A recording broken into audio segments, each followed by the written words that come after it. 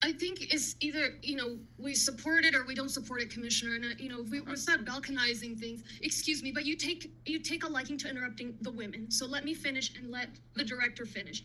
It's, I'm not gonna, I'm not gonna, we're not gonna do noises, but I'm just calling out so people can go back and watch previous meetings of Commissioner's Court. So I've got the microphone, sir, excuse me. We're asking for RFPs. Y'all well know millions and millions go out without RFPs because of this balkanization in the precincts.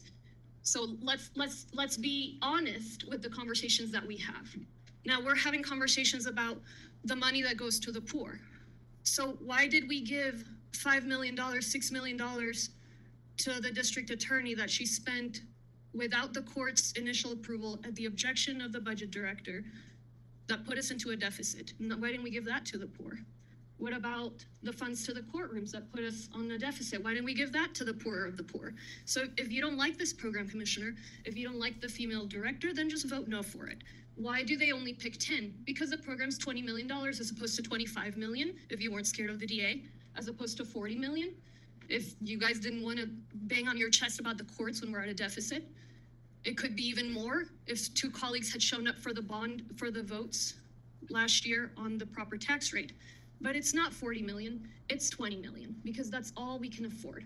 And so what we can do is we pick the 10 poorest neighborhoods. Can the undocumented community apply? If the county attorney says they can, they will. If the county attorney says they can't, they won't. What I was told is they can. But if we're just looking to delay the vote on this, just vote no, Commissioner. We all know that you've got a bone to pick with certain folks.